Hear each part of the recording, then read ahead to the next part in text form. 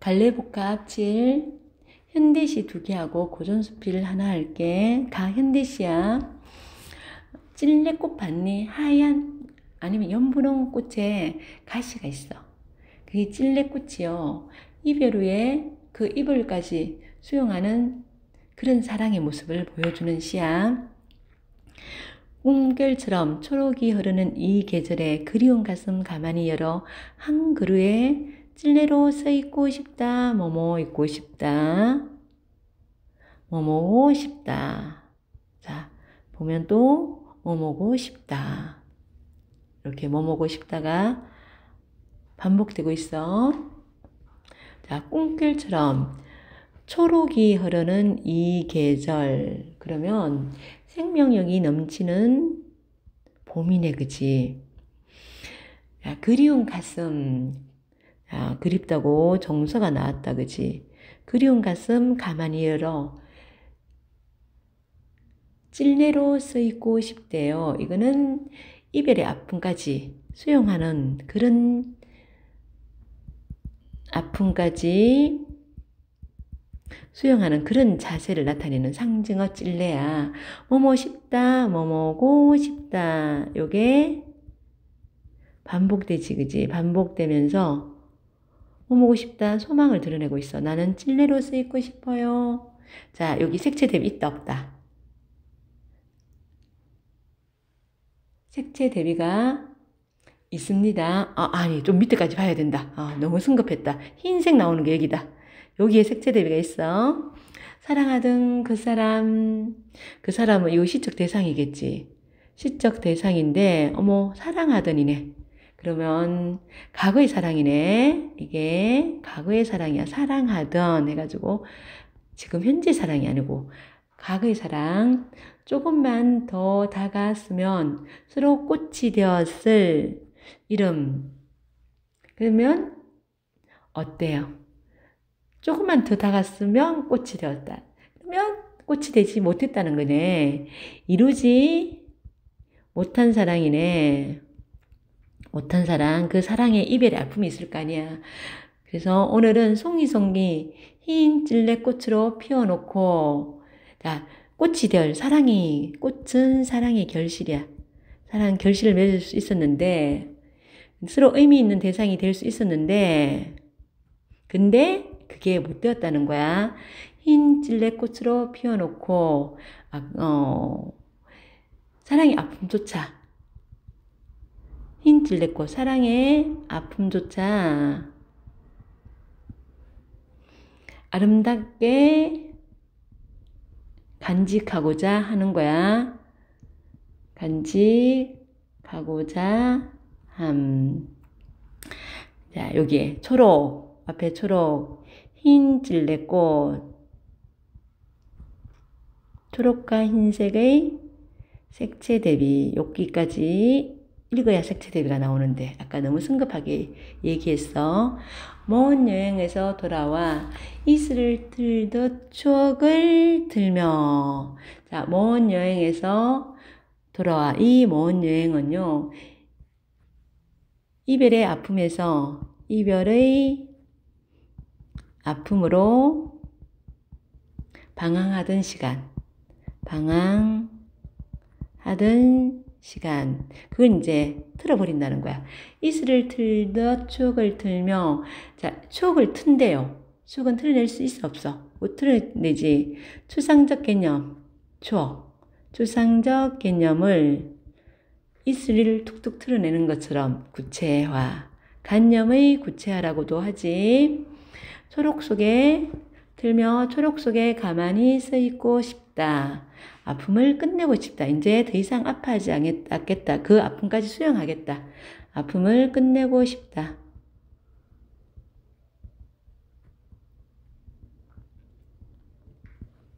그대 사랑하는 동안 내게 우는 날이 많았었다. 어, 사랑이 쉬운 사랑이 아니었나 봐. 아픔이 출렁거려. 아픔이요. 뭐 물이 출렁하듯이 출렁하는 거래. 이것도 추상적 대상의 구체화.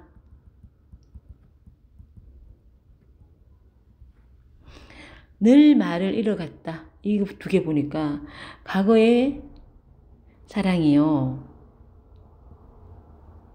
과거의 사랑으로 인한 상처, 괴로움이야. 상처, 괴로움. 오늘은 그 아픔조차 예쁘고 뾰족한 가시로 꽃 속에 매달고 자, 아픔조차 꽃 속에 매단대. 아픔을 수용하는 거지.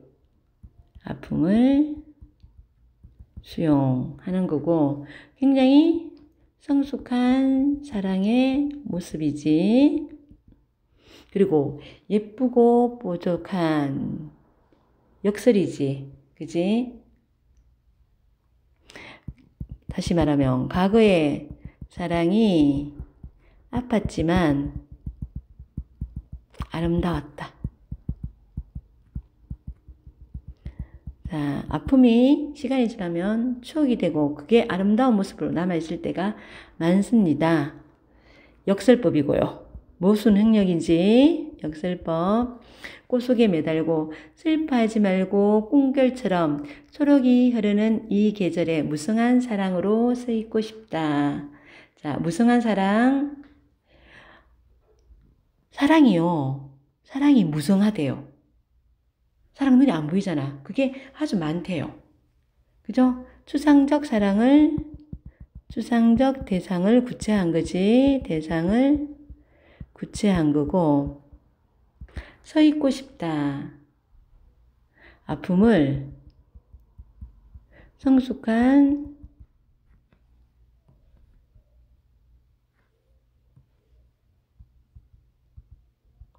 사랑으로 승화시키고 싶다. 자, 그리고 맨 앞에 봐봐. 꿈결처럼, 여기는, 어, 꿈결처럼, 있지. 초록이 흐르는 이 계절에, 초록이 흐르는 이 계절에, 그리운 가슴을 가만히 열어 한 그릇 진료로 쓰고, 쓰고 싶다. 무성한 사랑으로 쓰고 싶다. 1년과 유사하지. 그지? 1년과 같진 않지만 유사해. 그래서 이걸 변형된 수미상간이라고 합니다. 수미상간. 두 번째 시 볼게요. 자, 낙화 첫사랑이야. 낙화는 꽃이 떨어지는 거잖아. 첫사랑이 끝나가네. 끝나가는데, 자, 낙화를 통해서 첫사랑에 대한 깨달음이야. 첫사랑, 어, 에 대한 깨달음을 얘기합니다. 그대가 아찔한 절벽 끝에서 그대는 낙하잖아, 그지? 그럼 그대는 뭘로 해석하면 될까요? 꽃잎. 이제 꽃이 떨어지려 가는 거야. 자, 끝에서 바람의 얼굴로 스승인다면, 바람처럼 떠나려 한다면,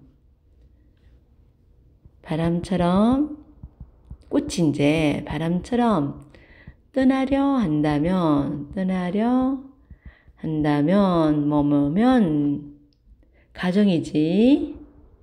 그대를 부르지 않겠습니다. 그대를 부르지 않겠대요. 덤담이 보내주겠다는 거야. get 의지적인 거지. 나 담담이 너 보내줄 거야. 그리고 경어체에 썼지. 경어체의 높임말 존중의 의미가 들어가 있습니다. 옷기 붙들어 부둥키며 수선스럽지 않겠습니다. 그대에게 무슨 연유가 이유가 있겠거니 떠나는 이유가 있겠거니 이렇게 하겠다는 거야. 내 사랑의 몫으로 그대의 뒷모습을 마지막 순간까지 지켜보겠습니다. 부르지도 않고요. 왜 하니 하면서 수선도 안 들고요. 그냥 너 떠나는 모습을 담담히 보겠다는 거야. 손 내밀지 않고 그대를 다, 어, 손 내밀지 않고 그대를 다 가지겠습니다. 어, 담담히 이별을 수용하고요.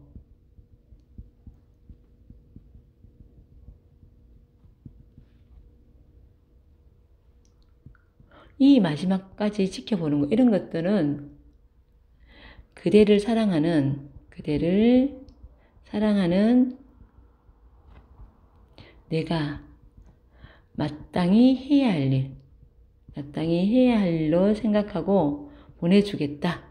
손 내밀지 않고 그대를 다 가지겠습니다. 손 내밀지 않고 그대를 다 가지겠대. 어떻게? 손 내밀지 않고 어떻게 가죠? 역설적인 거지, 그지?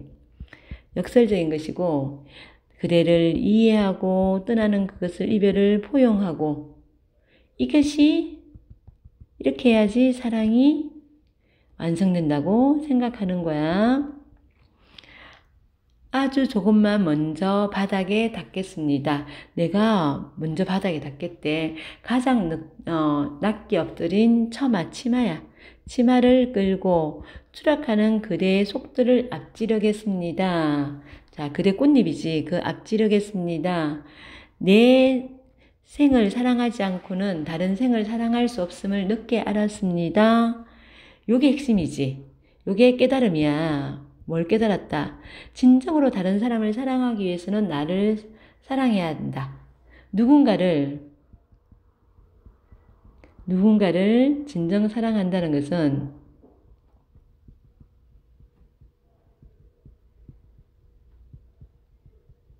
자기 구원이 우선이라는 것. 자기 먼저 사랑해야 된다는 것.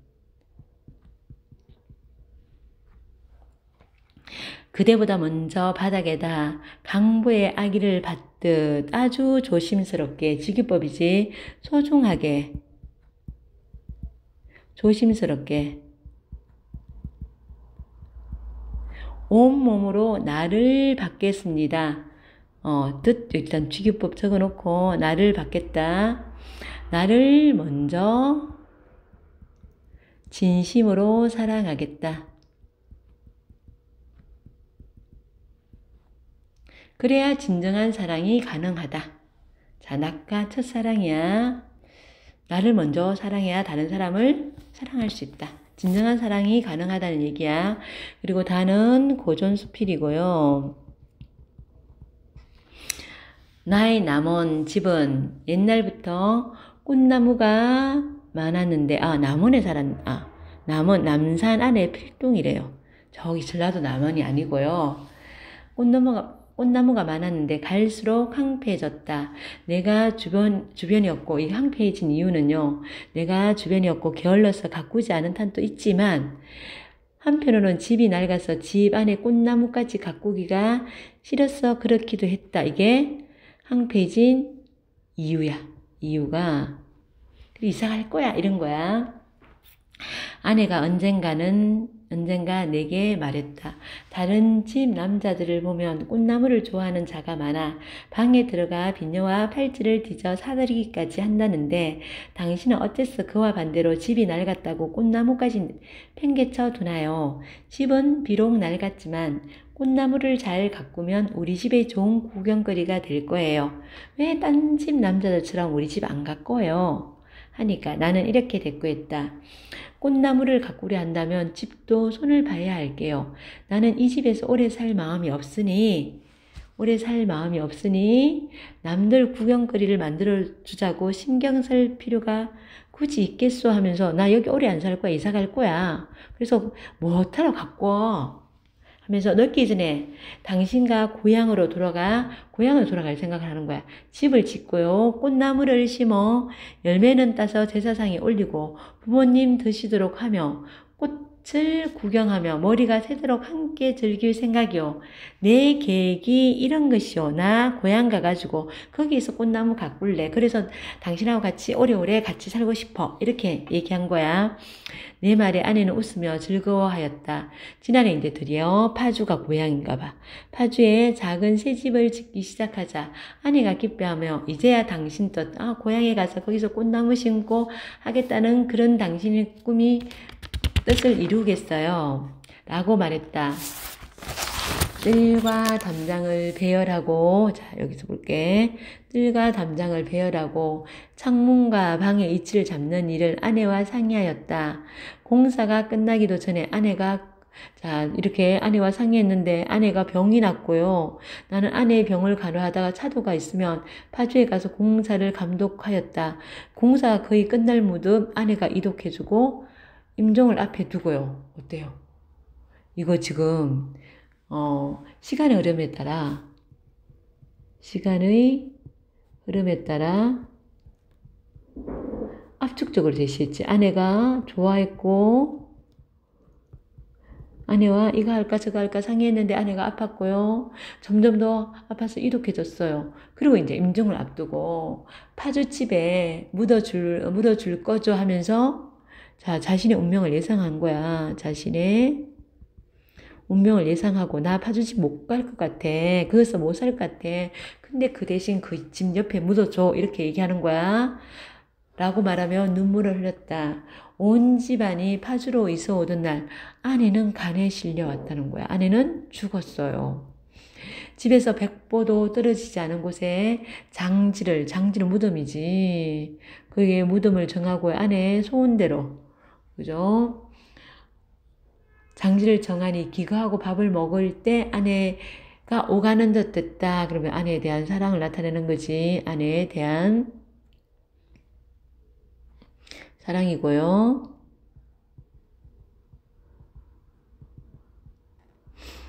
우리 산에는 아름드리 나무가 많아 울창하기 때문에 서도의 많은 산들 가운데 어뜸이다. 선조고 무덤 아래에 아내의 무덤을 썼기 때문에 굳이, 어, 굳이 나무를 심을 필요가 없었다. 나무가 울창한 거야. 하지만 장례를 치르고 나서 무덤 가까운 곳에 나무를 베어 칡넝굴과 나무 뿌리가 뻗어 그늘을 들이우는 것을 맞았다. 요것도 아내에 대한 사랑이지. 아내의 무덤이 그늘을 들이올까봐 양지 발, 바르라고 햇볕이 잘 들라고 이런 걸 어, 뽑아낸 거야. 배워낸 거야. 아내에 대한 사랑이고요. 또 좋지 못한 나무들을 베어내고 소나무와 삼나무 따위만을 남겨두자 나무들이 덤성덤성 서 있게 되었, 됐다. 그래서 다시 나무를 심기로 하여 이튿날 한식날 삼나무 치목, 치목은요 어린 나무 2년 정도 된 나무야. 서른 그루를 심었다. 지금부터 이제 어떻게 지금부터 내가 죽기 전까지 봄 가을로 나무 심는 일을 갈래로 할 것이다. 계속 나무를 심겠다는 거야. 오라 이것은 참으로 오래 묵은 계획이었다. 나무를 떠나 파주로 옮기겠다고 떠벌려왔던 지난날의 내 계획은 아내와 하루도 함께하지 못하고 못하고 뒤에 남은 자에게 슬픔만을 다하는 꼴이 되고 말았다. 나무 안 심고요. 뭐 못하러 나무 심어, 심어 이사 갈 건데 거기 가서 나무 심을 거야. 그랬는데 사실은 정작 아내와 하지, 하지도 못했지, 그지? 그래서 슬픔만을 니 더해진 거야. 그러고 보면 인간이 구구하기 살기를 도모하여 장관 계획을 세우는 것이 미혹이 아닌가. 이렇게 내가 그 봐봐 얼마 알지도 못하고 난 어, 고향가 가서 나무 심고 다, 자기랑 오래 살 거야 이렇게 했는데 그걸 못 이뤘잖아. 근데 인간이 길게 계획 세운다는 거 그거 진짜 허무한 일이야. 안타까워. 허무함, 안타까움이 나타나 있지. 돌아보면 나는 심기가 허약해서 스스로 어떻게 될 자신이 없다. 나도 오래 못살것 같아. 여생이라야 수 30년을 넘지 않을 것이고 한 번 죽고 나면 그 뒤로는 그 뒤로는 천년 백년 끝이 없는 세월이다. 그렇다면 내가 어떤 길을 선택할지 알겠으니 남은 집에서 파주집으로 옮겨 산 정도에 그치지 않는다. 이거는 남, 남은 집에서 파주집을 옮겨 산 정도는 짧은 정도잖아, 그지? 근데 죽은 후의 세월은 엄청 길 거라는 거야. 살아서는 파주의 집에서 살지 못했지만, 아, 죽어서는 영원히 파주의 산에서 서로 살기, 살 수 있게 그 즐거움은 그지없다. 이것이 내가 무덤을 새로 쓴 산에 나무를 심고 집에 심었던 것을 종류에 따라 하나 같이 산에다 옮겨 심는 까닭, 옮겨, 산에다 옮겨 심는 까닭 어떻게 해요? 나는 죽어서 아내랑 같이 영원히 이 산에서 살 거야. 그 죽은 뒤의 세월이 더 길 거니까. 그렇게 하여 나의 꿈을 보상받고 나의 슬픔을 실어보내며 또 나의 자손과 후인들로 하여금 후인들로 하여금 모르는 게다 내 마음을 알게 하노니 막 내 마음을 알게 한다고요. 손상치 말지어다. 나는 내가 이렇게 나무 심는 거그 나무 심어서 뭐 하게요? 얼마나 보게요? 그러니까 내가 죽은 뒤에 나는 아내랑 여기서 영원히 있을 거야. 그 세월이 더 길어. 이러면서 나는 계속 나무를 심는다는 거야. 누군가는 이렇게 말하리라. 야, 이렇게 말하, 누가 말했다는 게 아니야. 말하리라 하면서 추측하고 상상하는 거야. 그대는 앞으로 살아갈 방도는 깨하지 않고 사후 일만 너 앞으로 살 날이 많은데 그 살아갈 거 생각 안 하고 너 죽은 뒤에만 생각해서 그렇게 나무를 갖다 심니 이렇게 누가 말할 수도 있다는 거야. 죽은 뒤에는 지각이 없으니 계획한들 무슨 소용이 있겠나. 죽은 뒤에 너 그거 네가 심은지 없든지 뭐 알지도 못할 건데 그거 해서 뭐하니 이런 거야. 그러니까 죽은 뒤에 지각이 없다는 말은 내가 차마 들을 수 없는 말이다. 그 말 나는 아, 안 듣겠다고. 지각이 없다는 말? 그게 무슨 말이야? 당치도 않는 소리야. 이건 거야. 그래서, 그래서 뭐야? 계속 나무를 심겠다. 죽은 아내를 위해 계속해서 나무를 심겠다는 단호함을 얘기하는 거야. 개춘년 4월 3일 태등은 분함에서 쓴다.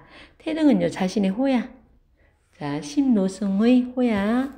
여기까지고 수고하셨습니다.